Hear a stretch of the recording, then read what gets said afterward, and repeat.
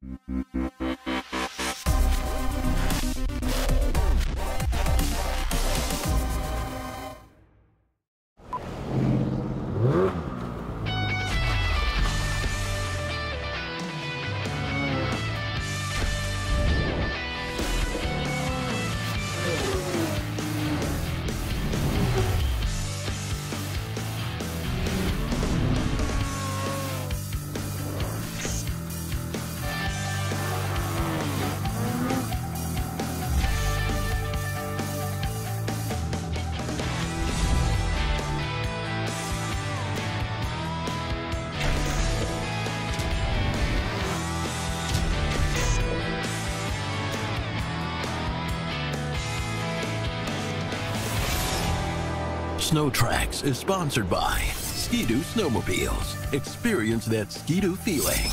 Yamaha revs your heart. And by FXR Racing. Maximum versatility for all conditions.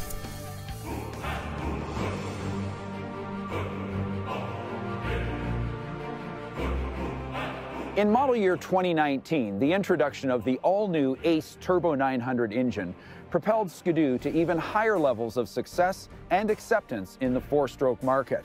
The engine was bulletproof, fast, and fuel efficient. The Turbo debuted in a plethora of G4 variant genres, including the MXZ, the Renegade, and Grand Touring.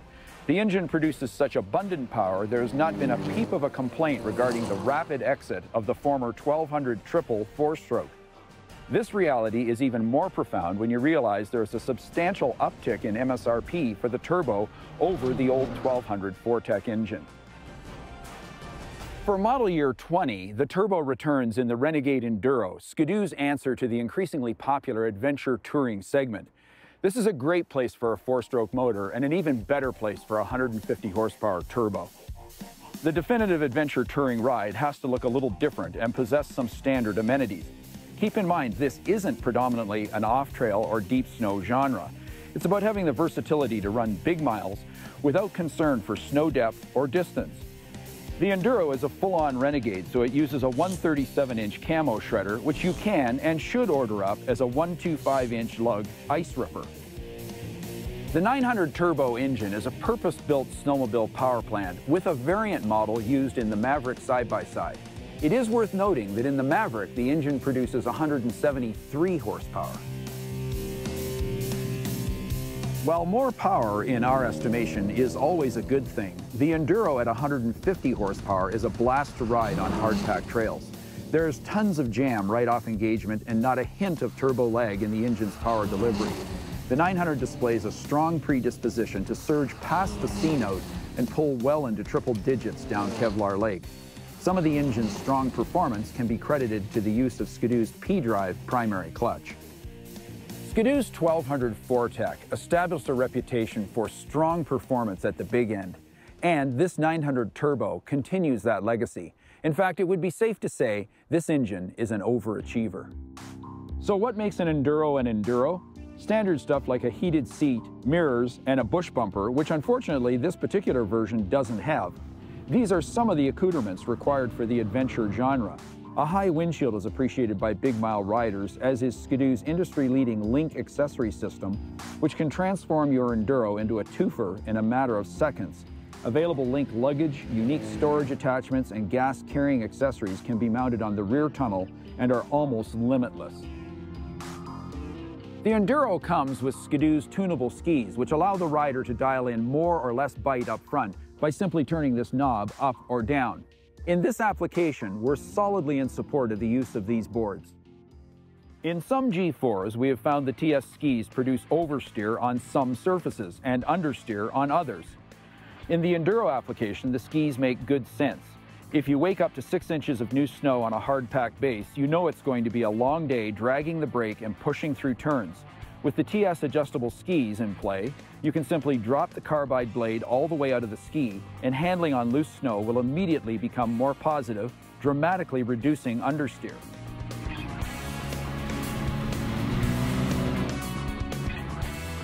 One issue we've had with the Turbo 900 and all Ski-Doo four-stroke sleds is this drive-by-wire throttle. In eco mode, it produces a rubbery, laggy response, and in sport mode, it produces an overly sensitive, jerky response to throttle inputs. While riders ultimately do learn to compensate for the throttle, we find it odd that the best way to control this condition is to operate in standard or eco mode all the time. This seems like a big compromise to make when you've paid for a turbocharged 150 horsepower engine. Go figure. While the Enduro gives off a less aggressive attitude than its stablemate Renegade, this sled is a blast to ride fast on trails. The corner-to-corner -corner boosted response from the small diameter Rotax built turbo is impressive. For model year 20, Ski-Doo brings the Enduro back with little change aside from this all-new digital gauge cluster.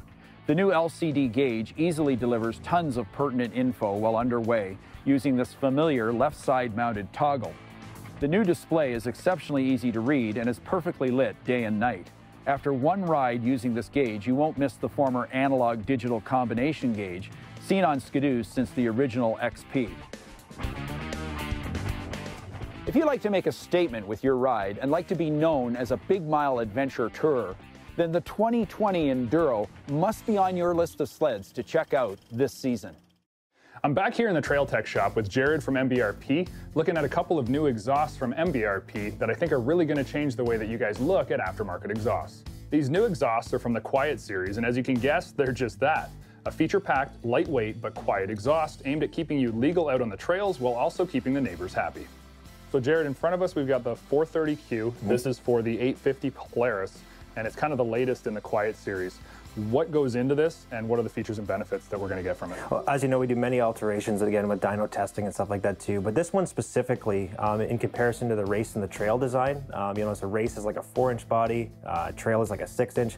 This one we've actually gone with an oval design to kind of control, you know, the flow and everything as well with the exhaust and allow us to kind of dampen the sound as it goes, it works its way through the muffler. Okay. Um, something like this, you're going to see an extra horsepower gain. One um, horsepower? Yeah, so again, cool. it took us a lot to really get to that. Six pounds in weight savings too, and as well with the DB level, it's very, very close to stock even throughout most of the power band. Um, if you're a guy that likes, you know, heavy acceleration, wide open throttle, you notice a bit of a change, but nothing super crazy. And again, earning the name of the Quiet Series. And you're getting a two-year warranty as well. Exactly, two-year warranty on anything, you know, on, on, brackets, material, anything like that. Any issues, just give us a call. But again, fully back for two-year warranty. Cool. Now, when you add to this the more robust TIG welded laser cut brackets, 304 stainless uncoated body that can be repolished at any time, or the guaranteed fitment and easy installation, as well as improved throttle response, we really have an MBRP feature packed exhaust with a sound that's very similar to stock in terms of decibels.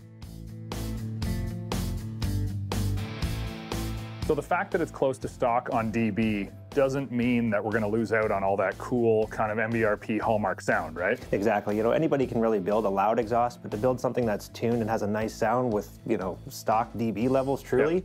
really takes a lot of testing and that's what we were able to deliver at MBRP. Sweet. Second in the quiet series of exhaust is the 132Q for Ski-Doo, but the folks at MBRP were able to not only fit the 850 into this design, but also the 600R with the exact same exhaust. So you could buy it for your 600R and then take it with you if you were to upgrade to an 850 down the road. Like the Polaris, we see a true one horsepower increase in power, the same six pounds weight savings with all the other benefits like 304 stainless, TIG welded design, and the guaranteed fitment. But the sound on the 132Q exhaust for Ski-Doo is even lower at a matched decibel level to the stock exhaust that we've replaced. Well, typically with our MBRP exhausts, we'll kind of stop here, but for this week, I wanted to take these things out on the trail and see exactly how they sound because I haven't actually had firsthand experience with them. Yeah, let's get suited up and go test them out. Let's do it. Sweet. Right away, you're gonna notice the deeper tone to the exhaust, but while I say that, I don't think it means more noise, because surprisingly, the sound doesn't climb like your typical loud silencer. Even when I crack the throttle and open the sled up, it's still very refined and, well, really quiet. However, keep in mind at anywhere past three-quarter throttle, this exhaust does have a much more enhanced sound. Does the throttle response feel like it's improved? Well, that's really hard to account for, but I would say that the throttle response, one extra horsepower, and six pounds less do translate into better seat of the pants feel. And while we're about the same decibels as stock, I now have a far more pleasing sound to the exhaust with a throatier and deeper note. Okay, so Jared, you got to tell me what went into these exhausts and these sleds because after riding them, I'm a believer, but prior to this, honestly, I didn't think you guys could do what you did with getting the sound level so low. Yeah, absolutely. I mean, there was a ton of R&D that went into this. I think we had uh, our owner, Martin, sled on the dyno for probably most of the summer about a year ago. Uh, we did 11 different alterations, actually, and I think we are there was a few times we actually thought, yeah, we're I don't think we're going to make it. We don't release anything that you know doesn't make at least one horsepower. Yep. That we finally arrived at what we have, and you know very happy with it. And obviously, as we've done some riding today, it uh, it works well. Absolutely. I, honestly, it's a little bit throatier, a deeper, nicer tone, but I, am blown away. This sounds like a stock sled. Yeah, absolutely. Yeah, no, so really happy with it again too. And you know, let's kind of take a bit of a back step too and realize why we kind of came to this too. And as more and more people get concerned with sound levels, you know, we want to make sure we're contributing also to a solution and making sure that people are using, you know, aftermarket exhaust in the right place too. We don't want to be painted with that brush. So, you know, take some of our other applications like a race exhaust. Yep. You know, we work with like Anderson Racing, the CSRA we're heavily involved with and everything too. And, and those are the, you know, environments you use that product with. But for guys that use our exhaust, you know, all over the place, like Minnesota, you know, Michigan, places where you can run an exhaust, this is a this is a perfect solution for those environments. Absolutely, race on the racetrack and quiet series on the trail. Exactly. Cool. I got to say that I'm super impressed with what you guys at MBRP have been able to deliver with both of these exhausts. I mean, I didn't think it was possible, but I do think that this is the way of the future for both satisfying state and provincial laws while also getting all of that performance that high performance guys crave to get out of their sleds. Absolutely, and that's something that, that's really our goal at MBRP, and I think you're something you're going to see to continue as this sort of exhaust product here into the future.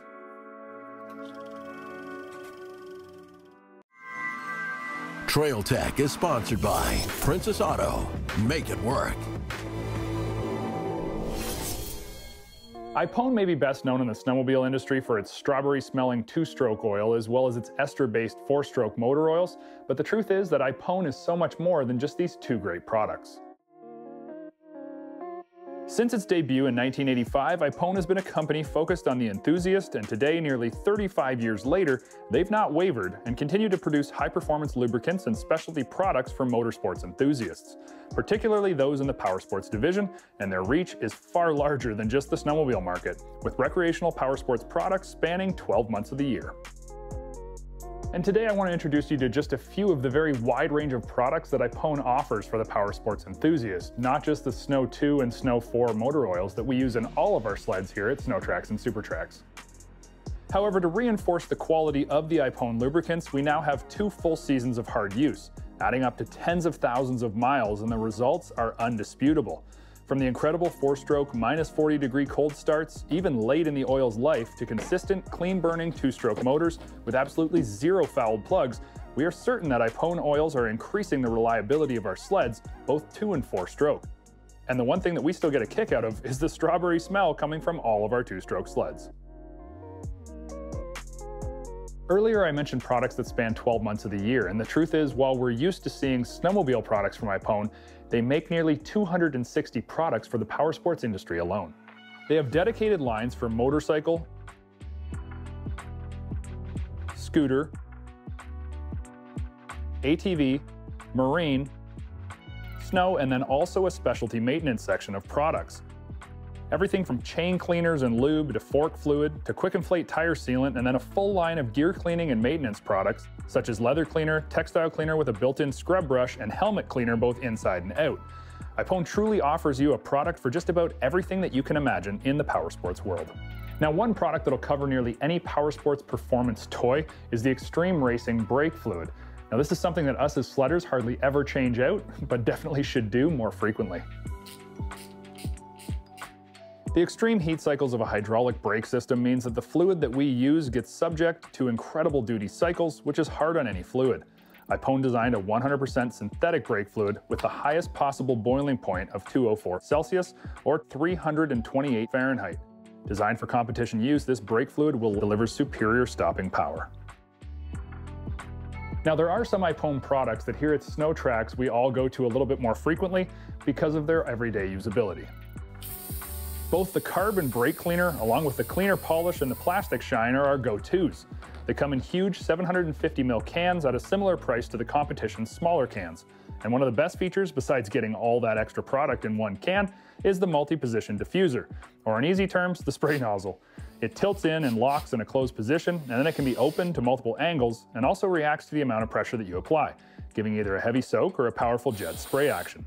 These cans are by far the nicest design that I've ever used, and because they're so much bigger, you don't have to keep going back to the cabinet or the store to grab more. While I've only touched the surface on the broad scope of products offered by Ipone to the power sports enthusiast, I wanted to give you a little bit of a better view into the company and also the faith that we have not only in their specialty lubricants, but also in all of their cleaning and maintenance products that they offer to you, the power sports enthusiast. There was a time when only a select few of the fastest riders in the world had the opportunity to get their hands on brand new, fully spec'd race sleds. They were limited builds, only a few hundred made each year, every one of them allotted to pre selected individuals. But today, things are very different. While Polaris isn't the only manufacturer offering race inspired sleds in their lineup, they do it best by offering a sled that is exactly the same as what the Pro Class guys are racing. It's not similar, it's not sort of, it's the same sled. The XCR is Polaris's cross-country racing sled, and last season's Polaris factory cross-country racers switched from the Axis chassis to the new Indy XC129 platform and found immediate success. It only stands to reason that a new XCR model would follow suit, so the big news for 2020 is the new Indy XCR 129. Of course, now the most important questions we need to answer are what's different versus a regular Indy, and is it actually any better? The short answer to the first question is a lot. The long answer is everything that was included on the Pro XC based XCR is now included on the Indy XC version, plus a whole bunch more. Let's take a little deeper look and let's start at the rear of the sled. Obviously, the XCR Indy rides on Polaris's stellar Pro CC 129 inch skid frame. Geometrically, it is almost identical to the standard Pro CC. Now, I say almost because the XCR uses a 2.52 pitch track, which is about one inch shorter overall, but is preferred because it gets more lugs on the ground, which translates into more traction. This skid also gets a massive boost in durability thanks to a four wheel rear axle with solid wheels, braced rails, a braced tunnel, aluminum coupler blocks, and stiffer torsion springs. The most impressive upgrade on the rear of the XCR, though, is definitely its set of 2 inch bodied Walker Evans Velocity Needle shocks, which are arguably the highest tech, most impressive shocks in the industry. As you move forward on the sled, you'll find aggressive running boards, and the overstructure that supports the steering post is made of aluminum rather than carbon fiber for ultimate stiffness and durability. Under hood, there are a few tricks as well. A beefed up Hayes brake is cooled by this side panel mounted vent for ultimate fade resistance. A solid jack shaft is tough as nails, and an Axis performance seat, fixed bar riser, and race style bar round out the XCR package. The front suspension is, again, damped by a set of Walker Evans Velocity needle shocks that feature a full list of adjustments. More adjustments than the average rider will know what to do with, but cool to have nonetheless. To answer the question I posed earlier, how does it work? That's where the fun begins. To properly test an XCR, it has to be ridden to its absolute limits. You gotta push it hard, and darn it, it's gotta be jumped. So that's exactly what I did, day after day, week after week. The truth is, though, it didn't take nearly that long to see just how good this setup really is. On a groomed trail, the XCR rails like it's on rails. The front end sticks to the ground like all Axis IFS equipped sleds do. The inside ski lifts just a few inches off the ground and then it stays there, which helps transfer the weight of the vehicle onto the outside ski, which simply tears itself into the snow, providing predictable and confidence inspiring handling characteristics. But this isn't only true when it's smooth. The Axis front end combined with the equally as composed Pro CC rear end help the Indy XCR maintain perfect composure in all conditions, from freshly groomed to a Sunday afternoon at Tug Hill. Much of these stellar handling characteristics are of course thanks to this awesome set of Walker Evans Velocity needle shocks that Polaris describes as position sensing. Basically, the damping characteristics of the shock change as the shock moves through its stroke. Anti-bottoming is taken care of by the ultra-fast compression ramp-up that occurs when the needle does its thing. Now with all this praise comes the one and only criticism for this version of the XCR. Its handling is not quite as planted or precise as the previous Pro XC equipped XCRs. It's not far off though, and it's still ridiculously good. Ergonomically, the XCR is ultra aggressive because it's supposed to be. This was never meant to be a slow speed touring sled. It's meant to be ridden up on the tank with your knee way out over the side panel. There's no question a big part of how fun this sled is to ride is attributed to Polaris's fantastic Patriot 850 engine. By now, you've all heard our thoughts on this motor and how it performs. What's important about this motor in the XCR though is its smoothness. While many assume that racing is all about jamming a throttle as hard as possible, the truth of the matter is that being fast on a cross country course requires monk like levels of throttle control and smoothness. Two things that are made infinitely easier with a Patriot 850 under the hood. I think what makes the Indy XCR 850 a great consumer sled is that while it is absolutely capable of being raced as hard as any pro rider ever could, it can also be set up to ride, handle, and behave extremely well for the average trail rider as well.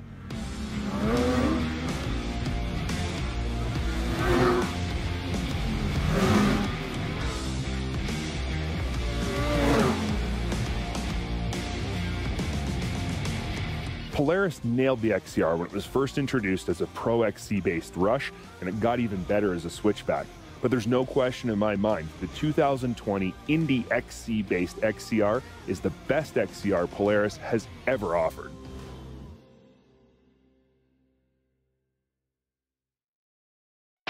Snowtrax has been sponsored by Polaris Snowmobiles,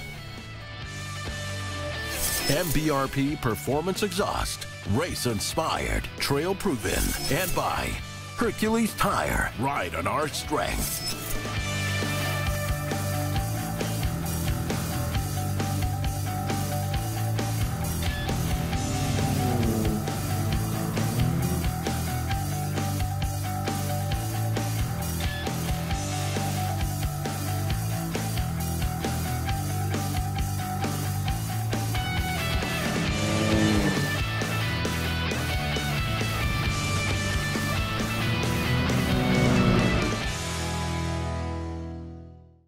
If you like what you've just seen, click the subscribe button and comment below. And make sure you check out all of our great videos on SnowTrax TV's YouTube channel.